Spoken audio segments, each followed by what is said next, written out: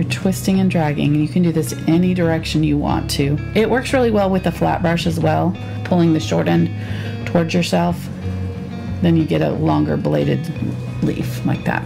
With the filbert, it's basically the same thing. You can't get the little dots as small as with that. You can still get dots, but they're a little bit bigger because this brush is a little bit bigger. I can still get these bladed leaves, these small bladed leaves, as long as I'm pressing my brush flat. And then I can get the bigger leaves by doing my kind of comma strokes like that. Just setting my brush down and kind of pulling it. So setting it down and kind of pulling it down to one side.